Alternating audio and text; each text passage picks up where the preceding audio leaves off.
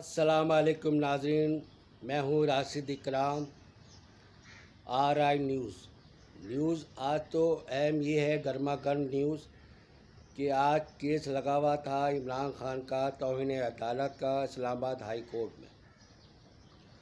आज उनको ऊपर फ़र्द जुम आयद करनी थी, लेकिन इमरान खान साहब ने माफ़ी मांग ली अदालत से और कहा कि मैंने अगर कोई लाइन क्रॉस की है तो मैं माफ़ी माँगता हूँ और आइंदा ये अमल नहीं करूँगा। और ख़ातून जज से भी माफ़ी माँगता हूँ।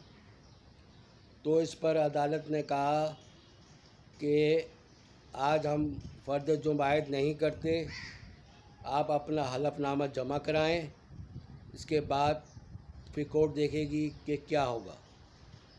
और इस तरह ये तोन अदालत का केस उनतीस तारीख तक मुलतवी कर दिया गया। अब जो है, इसके बाद जो अब सियासी बहस शुरू हो गई है। क्योंकि मीडिया में इस वक्त जो बहस चल रही है, कि पिछली जो माफ़ी मांगी गई थी, जिनको सजाएँ हुई थी, दानियाल अज़ीज़ नियाल आशमी तलाल चौधरी को। अब उनका क्या होगा? क्योंकि इमरान खान तो एक पॉपुलर लीडर हैं। इसकी वजह से जो अदालत बेहतर समझेगी, वो करेगी। क्योंकि पीटीआई और इमरान खान ने हफ़्ते से तहरीक शुरू करने का ऐलान भी कर दिया है, जिसकी वजह से इस्लाहाबाद में काफ़ी हलचल मची हुई है। और दूसरी तरफ़ हुकूमत पाकिस्तान ने भी कहा कि हम हम हम भी तैयार हैं। तो दोनों पार्टियाँ आपस में ऐसा ना हो कि इनमें झगड़ा हो जाए, लड़ाई झगड़ा हो जाए, जिससे मुल्क में, मुल्क को नुकसान हो। तो उससे बेहतर है कि आपस में बैठ के बात करें, क्योंकि आधे से ज़्यादा मुल्क पानी में डूबा हुआ है। लोग परेशान हाल हैं।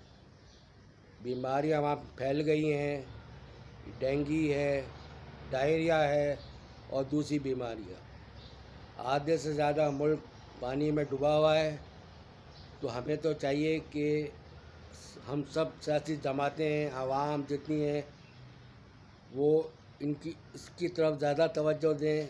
जो बेचारे सैलाब की वजह से जो मुतासरीन हैं, उनकी इमदाद की क्योंकि लड़ाई झगड़े से कोई फ़ायदा नहीं है। इलेक्शन तो एक ना एक दिन होना है। आपस में बैठ जाएँ और मुजाकरात करें और तारीख तय करें कि भाई इलेक्शन किस दिन होना है। इसलिए आपस का जो है ना, झगड़ा जो है अच्छा नहीं है, जिसकी वजह से मुल्क की मीशत पर ही बहुत बुरा असर पड़ेगा। क्योंकि डॉलर आपको पता है, वैसे ही बहुत ऊपर जा रहा है। महँगाई काफ़ी है, इसलिए बहुत एहतियात करने की ज़रूरत है मुल्क के लिए, क्योंकि मुल्क है तो हम सब हैं। पहले रियासत, इसके बाद सियासत।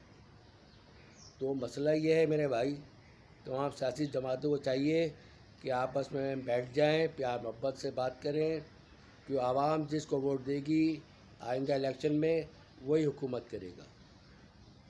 तो सब्र करें, फ़िलहाल इस मसले को देखें, अपनी मीशत को देखें, अपने मुल्क को देखें, और जो सलाम में बेचारे बीमार हो गए हैं, जिनके घर तबाह हो गए हैं, जो वफात पा गए हैं, उनकी दिल जोई से काम करें, क्योंकि यही सदका जारी है।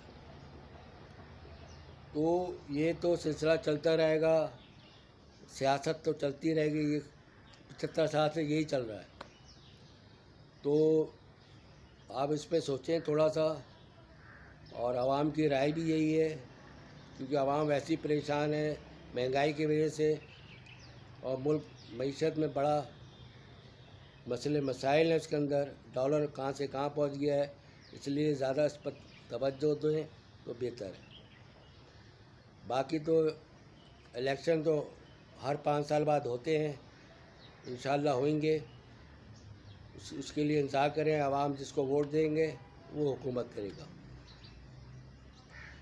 अब ये आज सुप्रीम कोर्ट में भी केस लगा हुआ था पीटीआई के जो इस्तीफ़े दिए उन्होंने एक सौ उनतीस उनकी तरफ़ से। तो ये बात सुप्रीम कोर्ट ने कही है कि भाई आप जाएँ असम्बली में ताकि मुल्क की खिदमत करें आवाम ने आपको वोट दिया है।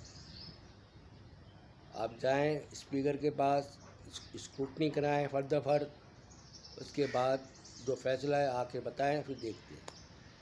इस तरह वो भी केस गैर मुइना मुद्दत तक के लिए मुलतवी कर दिया गया है और ये दोनों केस थे आज। इसलिए हमें चाहिए कि हम ज़्यादा तवज्जो अपने मुल्क की खिदमत के लिए दें, क्योंकि इस वक्त मुल्क जो है, क्योंकि दुनिया आ रही है, अपील कर रही है, क्योंकि सब देख रहे हैं कि पानी आधा से ज़्यादा मुल्क डूबा हुआ है। ये ज़रूरी है या ये ज़रूरी है कि लॉन्ग मार्च ये मार्च वो मार्च भाई, ये तो सब होते रहेंगे। पहले उस दें तवज्जो उसके बाद यहाँ यही कहना था।